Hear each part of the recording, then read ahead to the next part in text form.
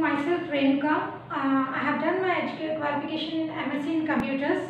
I have done. I have overall uh, 5.5 years of experience. In, I have. I will be working in a degree colleges. I, recently, I am working. Currently, I am working in a Rukmini Degree College as a computer faculty.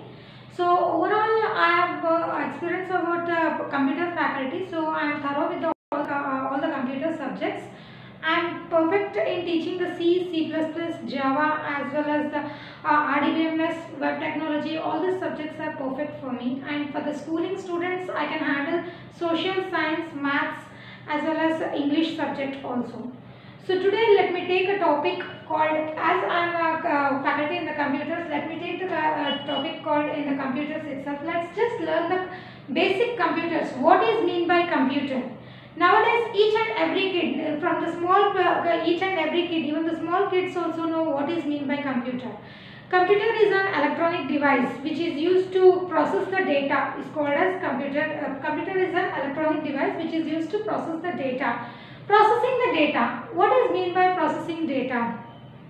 Processing data in the sense converting the raw data into a required format. Converting the raw data into a required format is called as required information is called as uh, is called as processing. So there what we are going to do, I can give you an example. Let's take a small example what we are going to do in the normal life in the daily. Here in a bowl we are having some fruits and we have this. I hope this one you know what is this mean. And we have a glass. So what I am going to do is I am going to put these fruits into this jar and I am just going to start this button. As it is a grinder, I am going to start this button juicer. So when I am going to start this, uh, start this, then these fruits are going to be converted into juice and at last I am going to pour it in a glass. So here this is called as the raw data and this is called as the processing device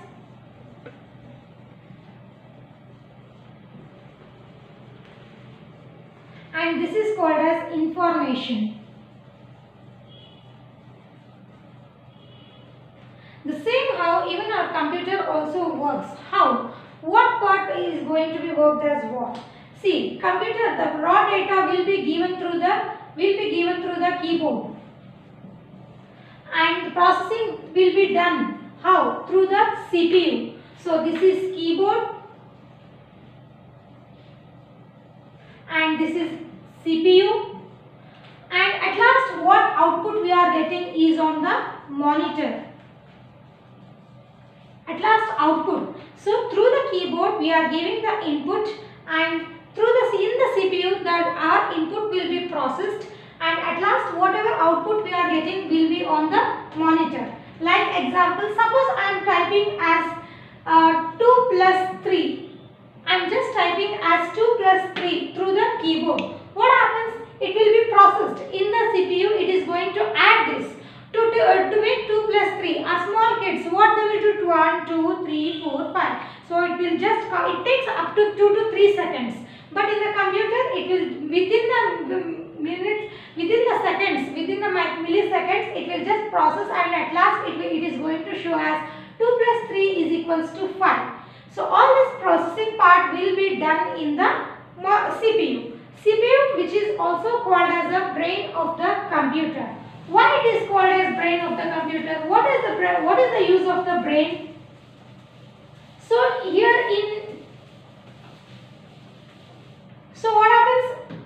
We people we can, can we store any amount of the data? Yes, in our mind whatever the memories are there in our life maximum we will try to store how much we can try to how much we can we store what is our memory capacity? Only that much we can store. And can our brain works as fast as computer?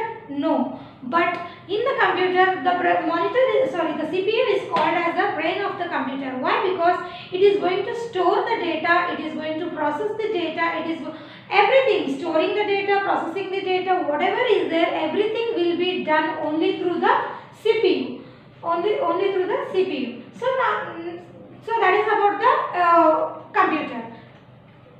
Yeah. So this is about the computer. For more details, you can just contact me. Thank you, one and all.